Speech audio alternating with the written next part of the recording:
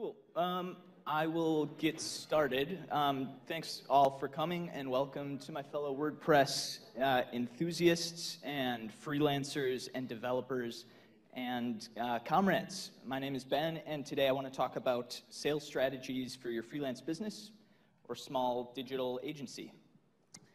Um, I'll kick it off with a bit of background about my professional experiences and how they culminated in some of the topics that I'll cover today. Um, and then I want to go through how to engage a client in a way that you're defining business objectives so that you can um, sort of satisfy and enable a client's success and really focus on the value um, of your unique differentiators as an agency rather than focusing on uh, just the price in a sale, which I think is a challenge we've all dealt with.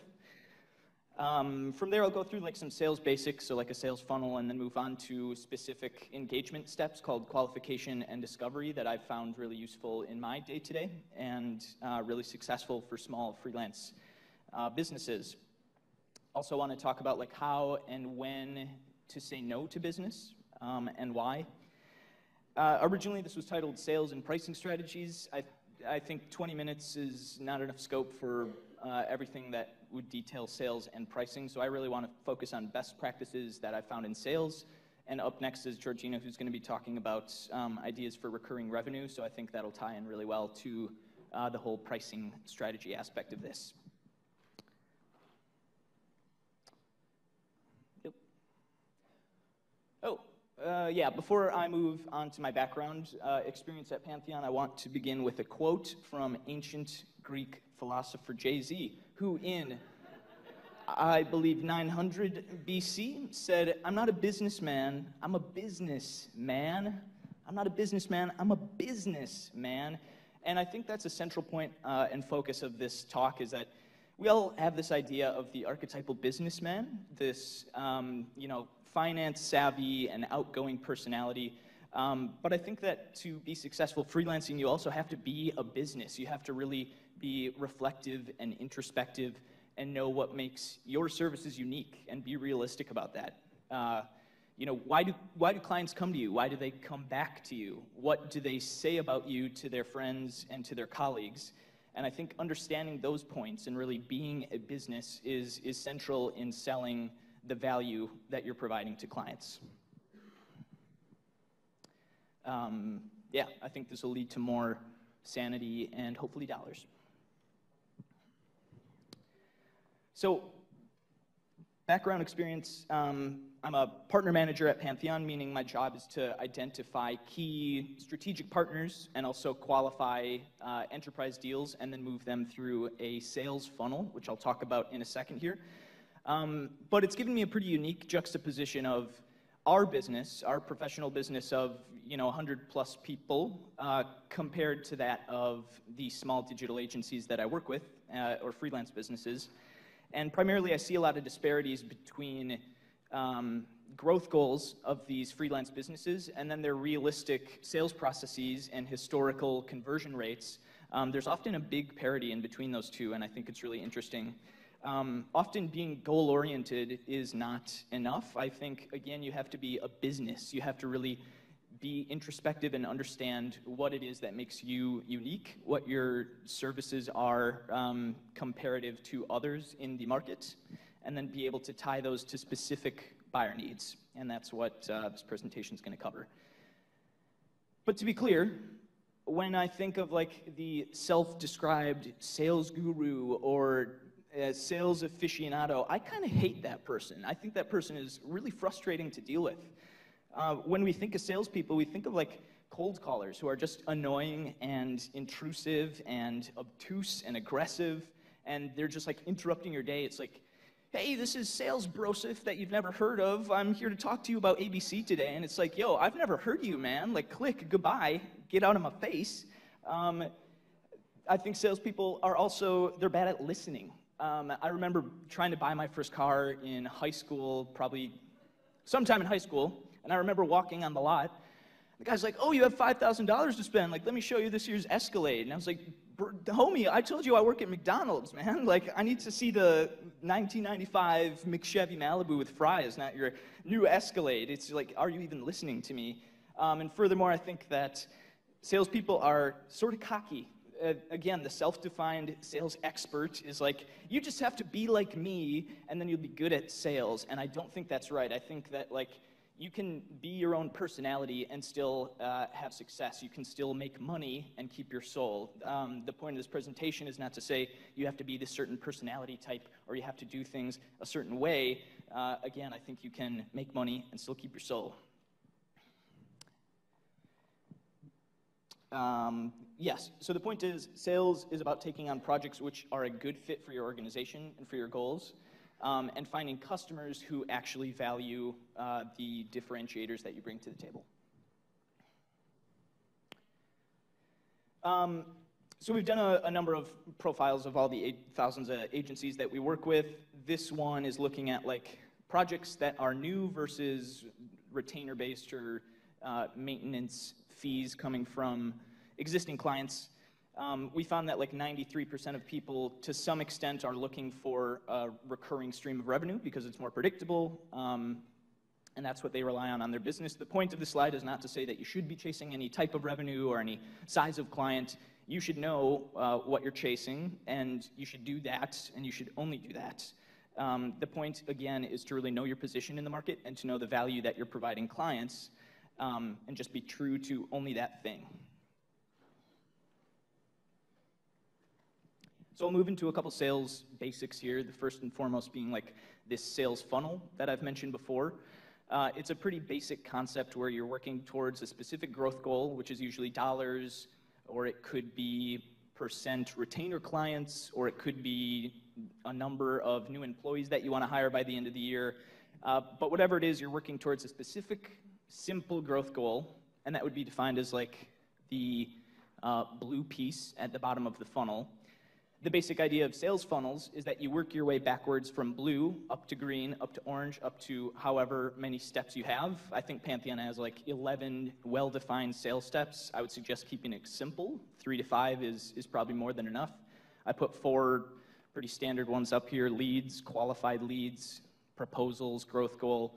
The basic idea of this funnel is that you're working backwards from blue in a sort of reverse waterfall uh, to understand how many bite sized day to day activities you need to be sprinkling in the top of that funnel to then convert down to your goal. So, for instance, if your goal was a million dollars in revenue by the end of the year, you would want to understand your historic win rate as well as the average size deal that you usually take on. And that would help you understand what the green piece of the funnel is, or proposals in this case. So if you win one out of every two proposals, and each project is a million dollars, then you need two proposals in that green area because you're probably going to lose one, as historic show, and that's going to get you to your growth goal.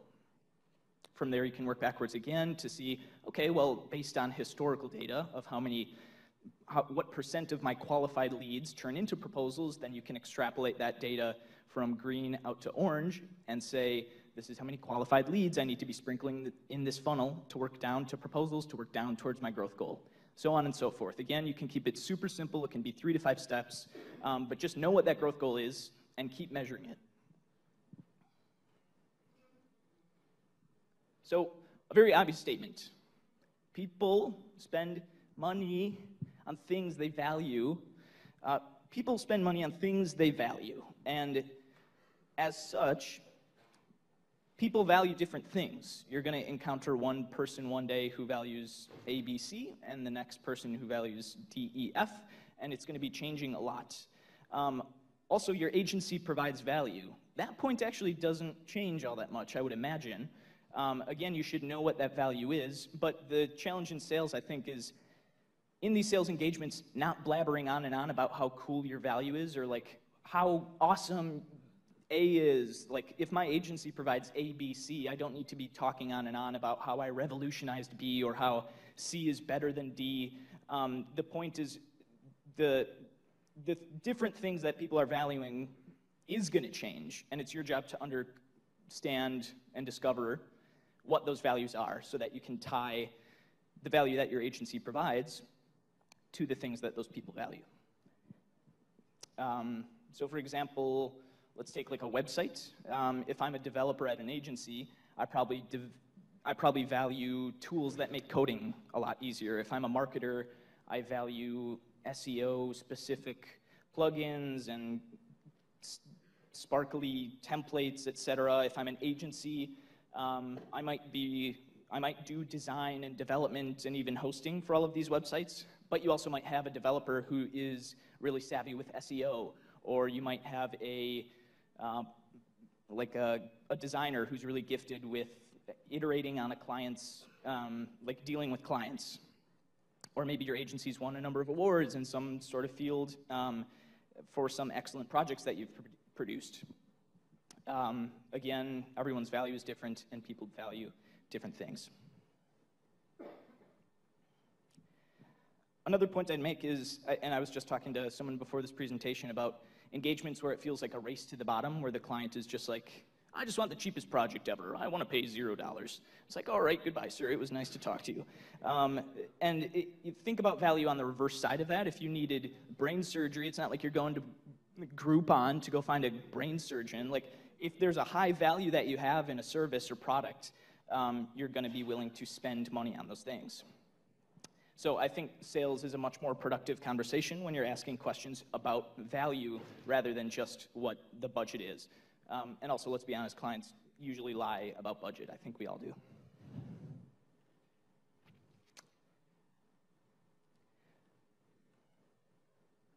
Move back to this basic sales funnel idea. Again, working towards a growth goal.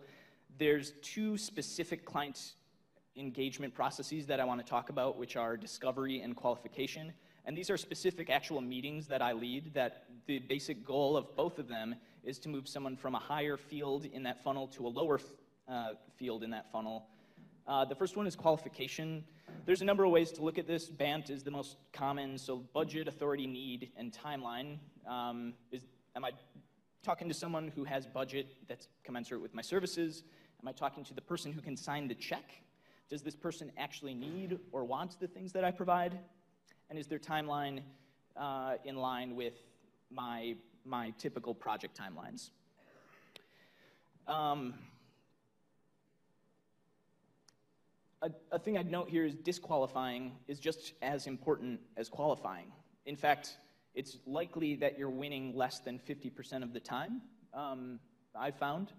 And as such, you should know when it's time to walk away from a client. I think we've all got bogged down with these engagement processes where it's like, I met with all the VPs, and I met with the marketing head, and I met with the technology head, and I took the interns out for lunch so that they could go tell their boss how awesome I am to work with, and then you end up losing the deal because a competitor moves in with a smaller price or a better service. And when you, in hindsight, 2020 vision, you were not realistically lined up to win that RFP or that complex process in the first place. Um, and I, I, hear a lot of agencies who are kicking themselves for having spent so much time and cycles spinning on something that probably wasn't going to happen. Um, and honestly, BANT is like, it's very basic, but often it's not enough. Again, people are lying about budget. Often people are lying about being the one who signs the check or pushing it off and saying, oh, yeah, the decision's on someone else. It, it's the purpose of BANT or qualification basics is more about like understanding someone's goals and understanding their challenges and understanding their timeline and really understanding what they're looking for. And if it sounds like a good fit, then let's move forward. Let's keep engaging with each other. And if it doesn't sound like something that my agency is really going to win or my business is really going to win, then it's time to walk away. So that's the first of two specific engagement processes that I go through in a sales cycle. Um, and I'll be really upfront about these meetings. It's like hey, the goal of this 10 minute meeting um, is just for me to qualify out um, the project at hand. I'm going to ask you a couple questions about your needs, about your challenges, about your timeline, to make sure that this is a good fit and that this is a conversation that both of us should be having and it's a good use of both our time.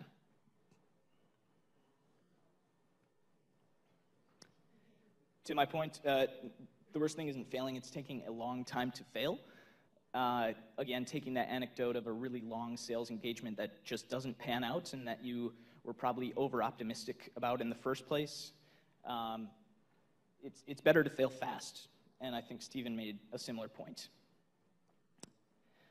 Um, also, so after you have vetted out this conversation and you find that it is qualified, then the second of two specific engagements that I would lead um, is called discovery.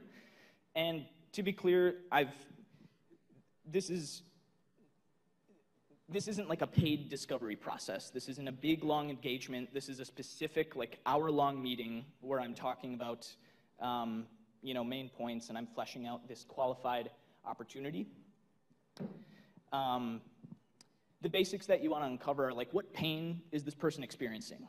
What challenges have you had? Why are you talking to me in the first place? Why are you considering spending all of these dollars on something? What, what caused this scenario to happen? And then from there, move to like the future states. Like, where do you want things to go? How do you want things to change? Uh, what would your life look like, look like if you did work with me, if you did purchase my services or product? Um, and then during this conversation, really p- extracting uh, what specific business outcomes they're looking for. So that could be metrics, it could be performance speed, for example, it could be one less full time employee, it could be anything, but really pulling out a specific thing that this person wants to accomplish is, is the whole point of this discovery process. Um, again, it's contrasting the pain and the past and what is happening today against the bright future that your freelance business can provide.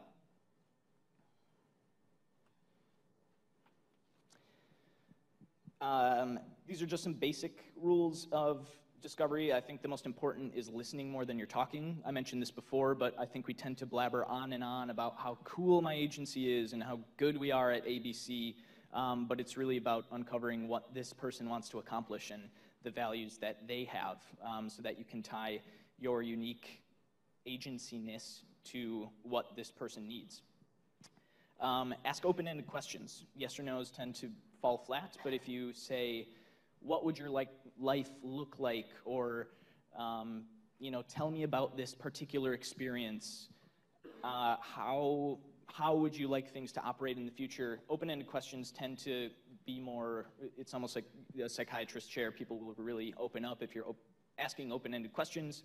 Um, and again, just resisting talking on and on about your products and services until you have enough information to actually tie their needs to your unique value. Um, couple takeaway points. So the sales funnel is a really basic idea where you're working backwards in a reverse waterfall from a, a growth goal that you have as an agency to really simple, bite-sized, day-to-day activities. It could be at the top of the funnel. It could be leads or emails that you send out or um, networking meetings that you go to, whatever it is, like just make them really simple and quantifiable and easy to understand. Um, second point, only pay attention to qualified opportunities. The budget authority need timeline or what are your goals and challenges and timeline. Um, the worst thing isn't failing, it's taking a really long time to fail. So your time is valuable. Don't waste it on lengthy RFP processes or people who don't seem engaged with you in the first place, focus on the places where you could probably actually win. Um, and last, just be a businessman and a businessman. Like, be good at all of the businessy stuff that we all know is true about professional salespeople, but also be a business. Like, know your value, know what you're bringing to the table. Um, don't lie about those things and focus only on those things. Uh, focus on the value that you're bringing to these clients and not just the price tag on your service. Uh, yeah, questions? Yep.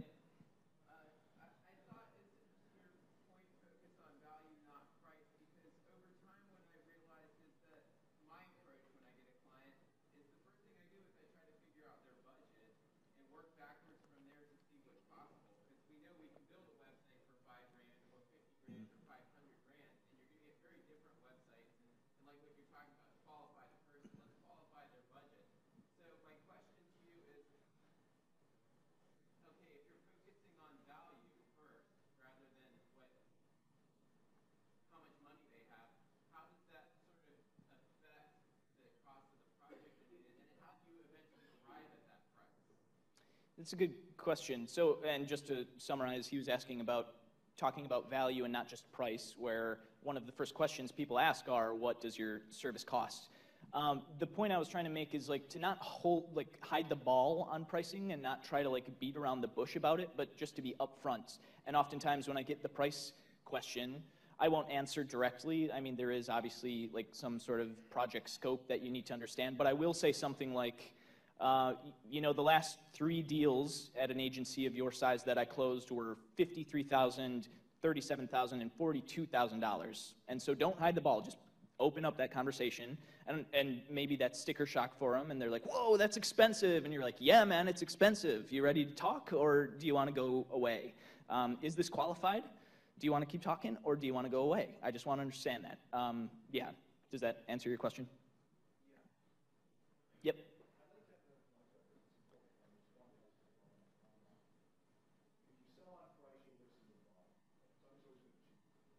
mm-hmm.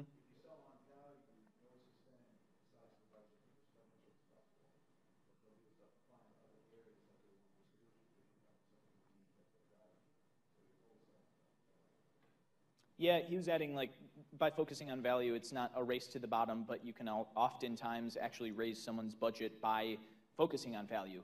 Um, and the more questions you ask, the more value they realize that you're bringing to the table. So asking questions like, oh, how much did that outage cost you? Uh, oh, how many dollars and cents did that cost you? How many full-time employees are you going to have to hire to tackle this problem? How much are you going to pay them? Oh, that sounds like a lot of money. It sounds like I could be bringing you a lot of value. Um, and by focusing the conversation on those points, I think you can kind of get away from just focusing on the price tag.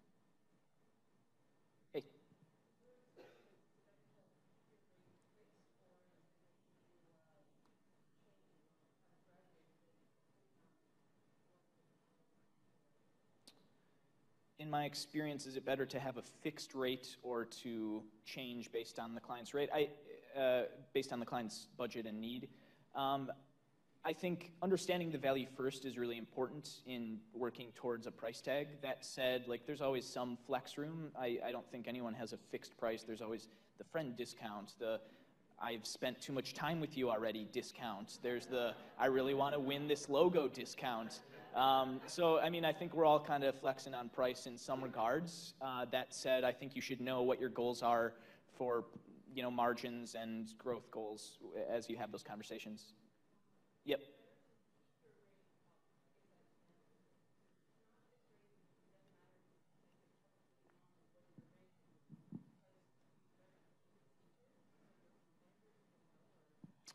Um, is it better to keep it secret? Uh, we many don't like publish a specific project price because again the scope is, is there's a myriad of different um, variables in each project. But again, I wouldn't hide the ball on price. I would just be upfront and say you know, typically my services are perhaps expensive for you and just get it out in the air and if they wave you goodbye then that's great. You have more time to focus on better things yep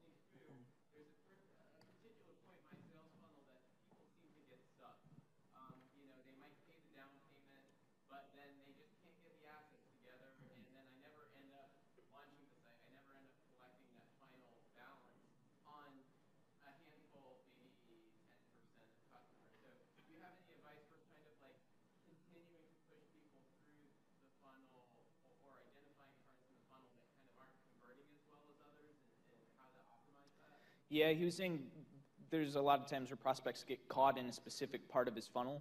Um, I, th- I would have two responses. One, first, identifying where they came in from. So, did you meet them at an event? Is it a recurring client? Was it a referral? Um, is it a specific type of engagement that you think is getting stuck? Because oftentimes uh, I found that it is. It's like, oh, yeah, all of the, I, I paid a couple thousand dollars for Google AdWords or some online advertising service. However, all of the leads, like, they don't seem to want to actually engage with me. It seems like they were just looking at clickbait online. Um, so, really identifying where these people came from in the first place, I think, will help you identify where you should be spending more time and why those people are getting stuck at a certain point in the funnel. Um, the second being, I, I, mean, we're all working towards not having to spray and pray a zillion emails out and hope that you get one response in the dark, but being really thoughtful about your outreach and who you're talking to, um, I think will also lead to better leads or whatever you want to call that first step in the engagement process.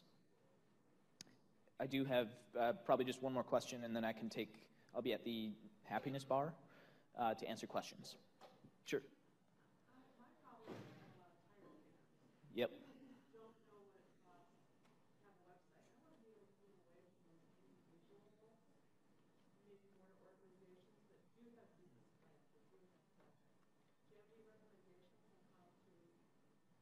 Yeah, yeah, she's asking about tire kickers, which is a huge problem for me and for every sales professional.